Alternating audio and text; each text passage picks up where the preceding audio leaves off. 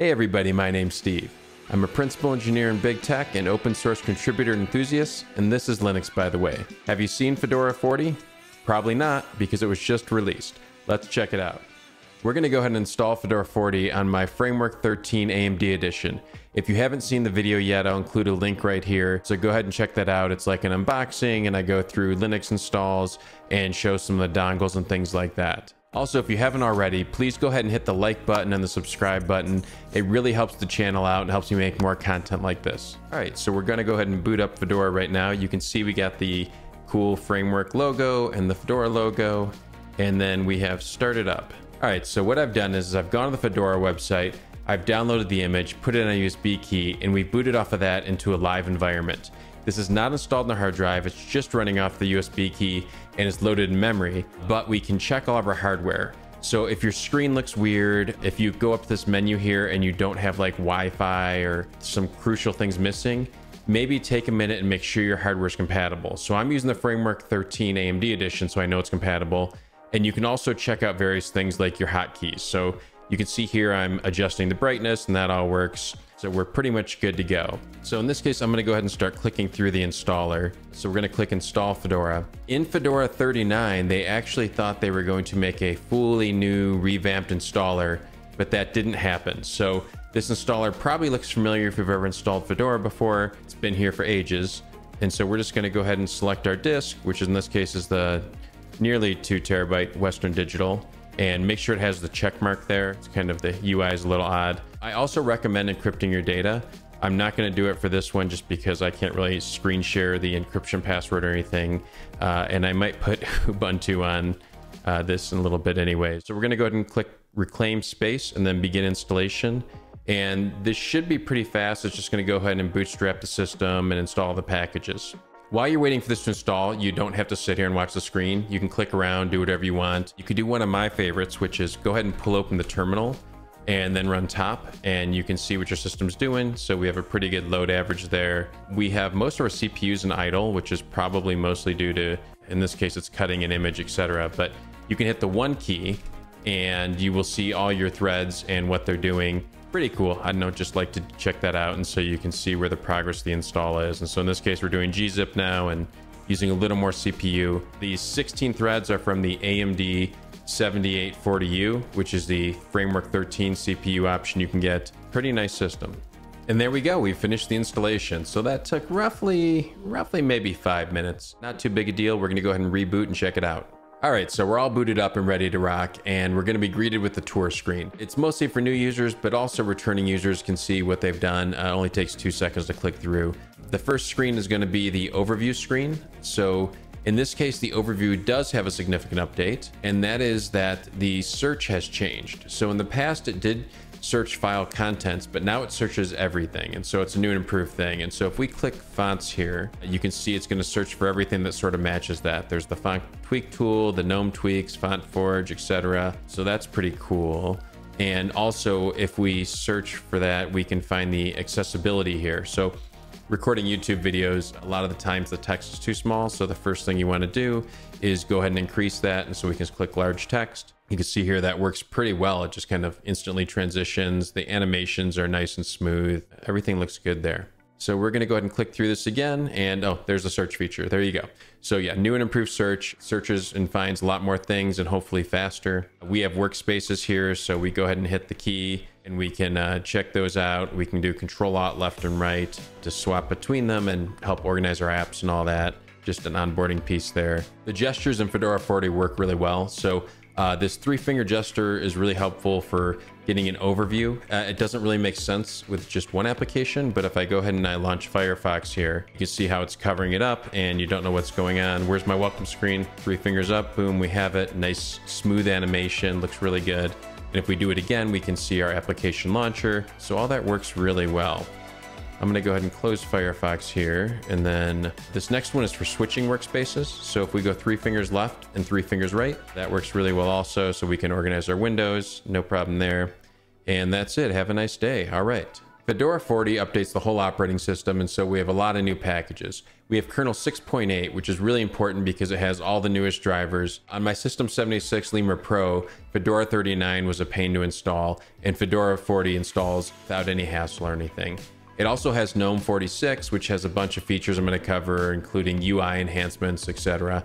And it also has updates to system packages such as Go and Kubernetes and all the different programming languages. Fedora 40 also brings with it KDE Plasma 6, and with KDE Plasma, they are defaulting to Wayland and have dropped the X11 session. The first thing you may want to do is change the background. So we can just right click, change background, and we have a default or a dark mode setting. So we can click dark mode here, and you can see if we switch between them, um, it is nice and animated, very smooth, fluid. They've done a lot of work to make that look really good. And so you can see actually our default background also changes when we do dark mode. Looks pretty nice. GNOME 46 includes an updated settings panel. So you can see different hardware details here and we can click system details and that will pop up showing the kernel version and memory and CPU and all that. Pretty nice there. And we can change our host name. So if we do this, now we have a newly named Linux, by the way, system, and you can check that out in the terminal also. One thing you'll notice from the settings that still hasn't made it is fractional scaling. So in this case, we have 100, we have 200, and 300. So if I put this on 200, you can see for a lot of displays, 200% is too big and 100% is too small. And so that can be a little frustrating for users. So hopefully in the future, we will land that fractional scaling support. For now, if you have a monitor that needs an in-between, you can set that manually, but it's not part of the GUI, so you will have to do a little bit of tweaking to make that happen. GNOME 46 also ships with updated notifications. So what I've done is I've opened Firefox up and I've went to the page of a very famous Linux YouTuber. And I'm also going to hit the print screen key. And so you can see here, I'm going to take a screenshot and the notification pops up and over the window, nice and animated, looks very smooth. And then also if we open this, any unacknowledged notifications are gonna pop up here and they've done some work to make this look nicer. And then you can see our videos here also. The GNOME calendar has also received an update, so we can go ahead and launch that here. And you can see that if we make an event, uh, we'll say install Linux. There we go. Looks shows up there and there, and there's different views now. Uh, so we can go to our weekly view or monthly view. We have search and we have the new event dialog. That's all been revamped. Looks pretty nice. The software center looks good and it didn't fire up my fans when I opened it. So laptop's nice and quiet and I can browse all the software. They have a pretty comprehensive catalog here. So almost all the tools you need would be available and already packaged for you. And so we can check out like transmission and install that. It's a pretty quick process. So this is uh, just for the video and uh, I didn't do anything special, but you can see it takes maybe like 25 seconds for a, a smaller program to install, which is nice and efficient. I like the setup for installing updates. I went ahead and I went through the software center and I clicked update and restart. And so it took us to this screen. It gives users a nice status and progress bar showing where we're at. Pretty quick for the first updates. All of that only took a, a minute or so to get through. If you selected yes for the third-party repositories, you can install Steam right from the store here. So I'm gonna go ahead and click that. The logo is broken, but I think the install works. We'll let this run for a second. And there we go. So we're gonna open Steam up and that's gonna download the runtime environment. Um, if you want to too, you can open up the system monitor here and click resources and then that will show you what you're doing. So like if you're running Steam and you're like, how fast are things going and how much resources are being used, you can check it all out from the system monitor, which I like to do from time to time, especially if something's not moving. Then you can see, oh, I'm not downloading anything or I'm not writing to disk. In this case, we're downloading from the internet, big uh, 10 megabits a second there. If you're installing Steam, they also changed the default scaling for 4K displays on that, so you might notice a difference. This is not a 4K display, so it's going to be the standard uh, 1x scaling, but if you have a 4K display, it might be different. So we installed Steam and I'm going to install Streets of Rogue. Uh, I'm on the Framework 13, so it's not exactly a uh, full-on gaming system. It does have the integrated AMD 680M graphics, uh, which can do some things, and I think this game will work okay, but it can't do like X4 or some of the you know, big 3D simulation. I pretty much game exclusively online, so I can tell people I run Linux, by the way. Now the Streets of Rogue is installed, let's go ahead and hit play and see how this does. So we will do that. Yeah, that's fine. And it looks good. And I have the FPS counter up at the top left. So you can see here, uh, it's mostly at 60 on this screen and it went down to like 43. Well, let's do a quick start game here. And it goes down to 34. Uh, we'll pick that. And uh, this is definitely not like the most graphically intensive game, but it does, yeah, that's 60 FPS, so not bad. That's, uh, that's looking pretty good. You'll also see in the application launcher screen that the integration works. So we do have an icon here for the game that actually works if I click it. And that is not a given always whenever you install Steam. And so uh, good job to the Steam team or the, the GNOME team and Fedora team, one of those folks, for actually making that work right off the bat. The software store also has a lot of other helpful third-party apps. So if we check this out, we got like Slack and we have uh, JetBrains products. So if you need PyCharm or IntelliJ, etc., that's all right here. I just installed VS Code a minute ago also. Uh, and you can see here that it's from FlatHub. So if you have any uh, FlatHub software, it's probably showing up here. Let's go ahead and check out Visual Studio Code. So I'll pop that open. It asks us to choose a theme. Uh, that's fine. And then it also gives us this uh, Flatpak warning. This can generally be ignored, but it's just good to know that when you're running these programs, they are in a semi-sandboxed environment. A lot of the restrictions have probably been fairly relaxed because like Visual Studio Code is a it's a dev tool, so it needs access to a lot of things. But you may see on other Flatpaks that maybe they don't have access to the full system.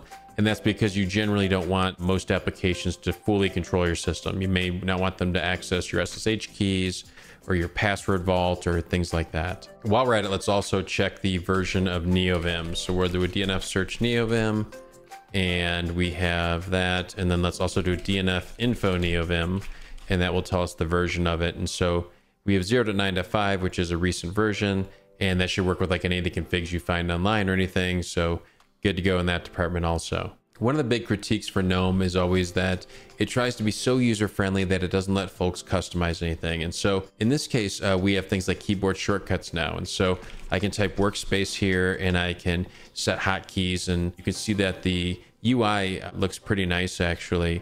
And we can also do different customizations with multitasking. So we can turn off hot corners and active screen edges.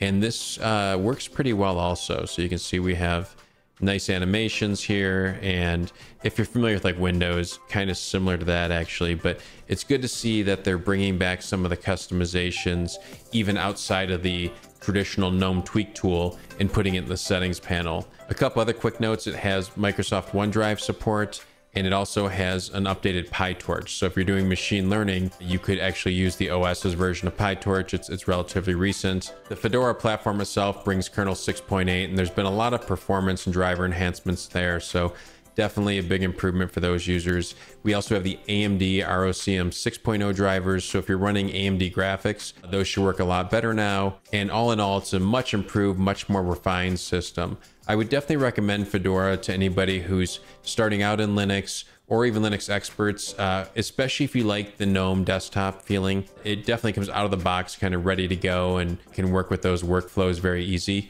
You can definitely customize it a thousand different ways also. So if you need to install i3, do things like you do in Arch, you can do it here. We don't have the same package repository as in Arch where you have the user repository where people package all sorts of software, but there is a ton of software. So it's definitely comprehensive and it has all of the heavy hitters from Slack to PyCharm to VS Code, almost any development tool you can think of. Overall, I'd say it's a great system. Definitely check it out. Let me know your feedback in the comments below, and I'll catch you in the next one.